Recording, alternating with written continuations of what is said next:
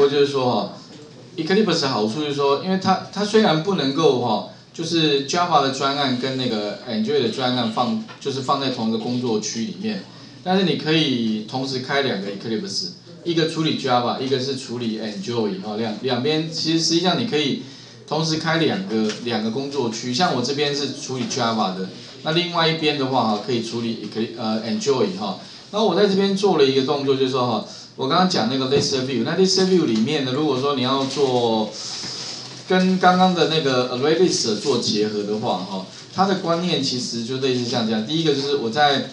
大概讲一下，第一个就是我在那个呃 Enjoy 里面呢，如果要使用那个 list 下拉选的，因为你们将来一定会有需要呃显示资料的这种需求哈。那资料来源当然有很多种，你可以从看从文字档或者从外部的呃从那个那个资料库或者从外部的云端资料库下载下来，那下载下来你最简最常用的还是用 list 下拉，就是那个或者是利用那个 spinner。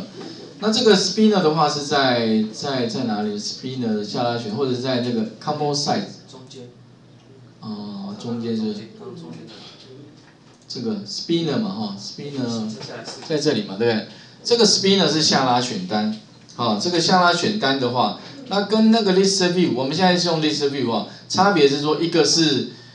呃，spinner 是点的时候再展开的，好、那 list view 是直接就展开了，OK，那使用的方式有点类似了啊、所以这个我想各位也可以 try try 看，那这个也是很多同学卡很容易卡卡很久的地方。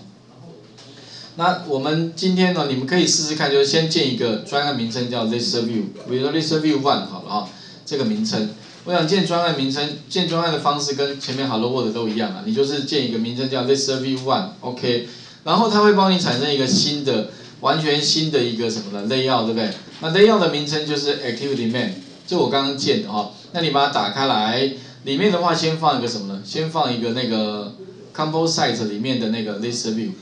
好，这个 view 拖拉过来之后的话，然后你可以哈、把它稍微展开一下。那高度呢？其实这个地方高度你不能这样调，因为调它它好像没有办法调整。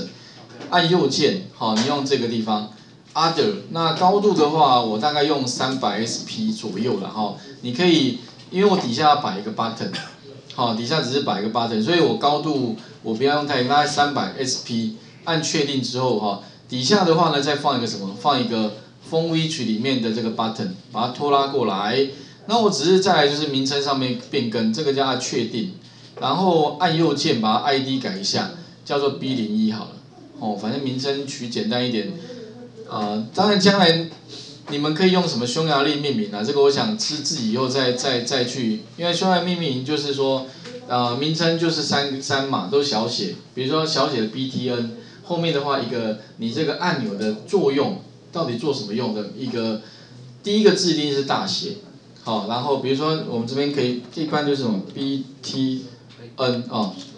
有没有？匈牙利命名的话，大部分都这样 B T N，然后后面的话，比如这个按钮是 Adapter 好了，比如说那就，